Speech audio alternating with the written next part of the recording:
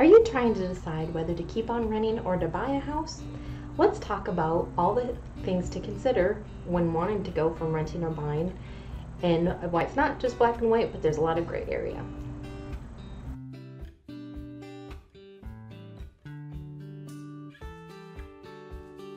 Hi, I'm Laura Clute with Ozark Gateway Realty, and I work with lakefront sellers in Cherokee Village who are animal owners. So today we're going to talk about um, what is the best time to rent or maybe transition into buying. So there's several pros um, on both and cons on both sides. Um, but it really does depend on where you are in your life. There's lots of factors to consider. As a renter, you're only paying the rent and utilities, and the landlord takes care of everything else. So when you're considering buying, some of the things you want to think about are do you have a savings account and how much is in there? Um, you really should have three to six months of an emergency fund and that's not even counting your down payment. Your down payment should be on top of that. Three months emergency fund would be more like if you have a regular stable job, or six months might be if you're a realtor like me, where you're never not quite sure where your next paycheck's coming from. Um, and then your down payment, most um, loans are 20% down. You can qualify for less down payments. Sometimes there's zero, like a VA or an FHA, or an RD loan. Uh, I'm sorry, FHA is 3.5%, RD is zero down. But even still, you still have three and a half percent, um, and a hundred thousand that's thirty five hundred. And uh, some people that might be your whole emergency fund. So it's important to have both this emergency fund and savings. I'm sorry, down payment. So when you get the down payment and you get the loan and you get moved into the house, then you have an emergency fund to make sure there's a, everything's maintained um, and taxes and insurance is taken care of. You want to also think about how long you're going to be staying in the area. Um, it's usually a rule of thumb to be in an area, in a home, at least three years so that you can get a return on your expenses that you paid to buy the home. Less than three years is probably the best to keep on renting. Five to seven years is even better if you're going to stay in your new home.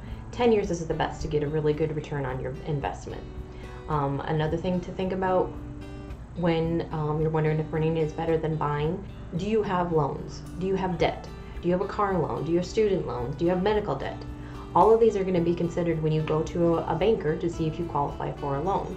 And the less debt you have, the better interest rate you're going to get on buying a property because um, they factor all of those into the risk that you are into buying a home. Also, if you stay in your home for less than two years, you won't qualify for a capital gain exclusion, which is when you pay taxes on the money that you gained from the sale of your house versus when you bought the house. So you really want to stay in your house at least two years to not have to pay that. Is renter, renting better than buying when you are engaged or you're in a long-term relationship or only when you're married? Those are all things for you to consider. Maybe you never plan on getting married, but you are committed to that person.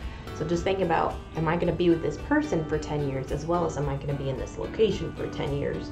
Um, and make sure that your because your mortgage is probably going to be dependent on both your income. So you're going to want to make sure that both of you are going to be wanting to stay in that house for 10 years. Like i said is the best ideal um, or at least three um, to consider buying the home. Is renting better than buying when it is a seller's market? Probably.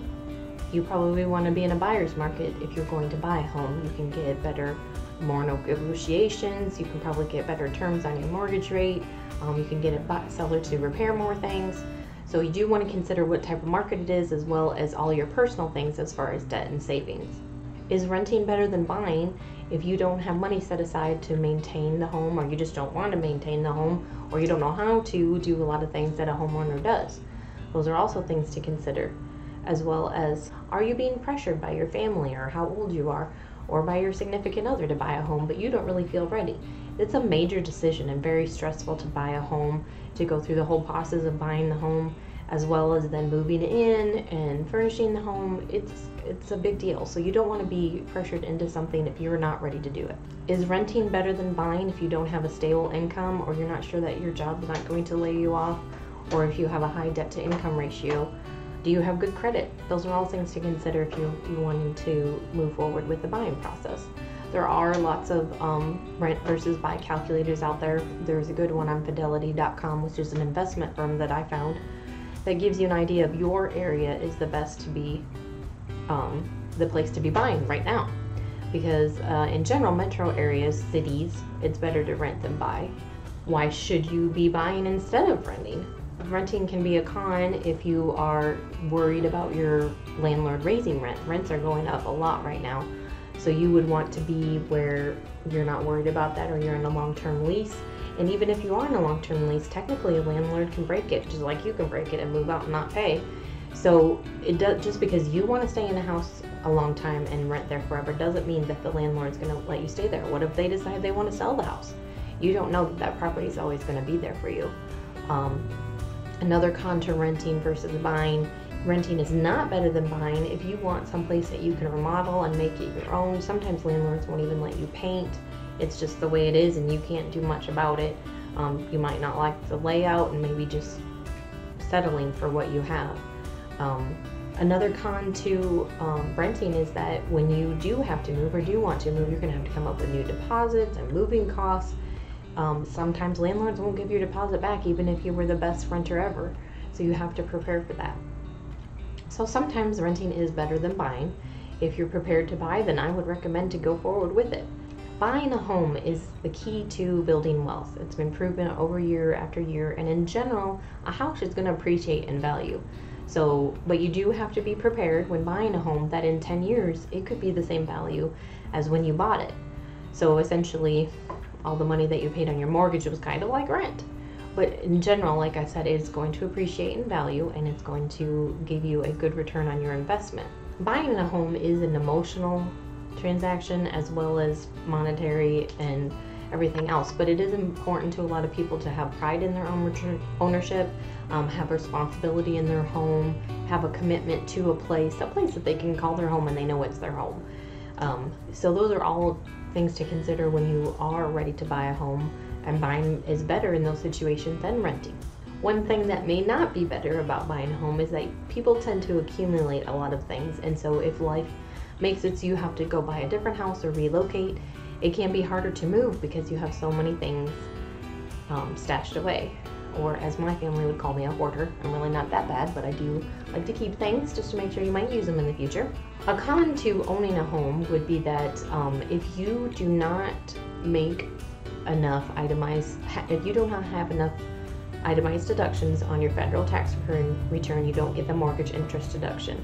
Um, the standard in, um, deduction for a married couple is 25000 or an individual is 12900 So if you don't have more than more itemized deductions in that amount, then you're not going to be able to itemize the deduction for your mortgage interest. It's only the interest that you get to deduct. So that would be a con um, that's often a pro that people have out there for buying a home is that you get your mortgage interest deducted. But on the other hand, you definitely don't get to deduct your rent. So at least you have the possibility of deducting your um, mortgage interest. I know on Arkansas income tax returns, I've every year been able to itemize my mortgage interest on my state taxes, but usually not on my federal taxes. Um, so you have to have quite a bit of deductions to itemize on your federal. So today we talked about is renting better than buying? Only you will know if the timing is right for you, but it is important to have an emergency fund and a down payment saved, as well as have your debt paid off to really move forward with buying a home. But if you want to talk more about ways that you can be ready to buy when the time is right for you, feel free to reach out to me. In the meantime, check out this video that I did of Hardy and the Hardy area and the Hardy River and a river home and see if you would be interested in coming to the Hardy area and maybe buying. Thanks for watching.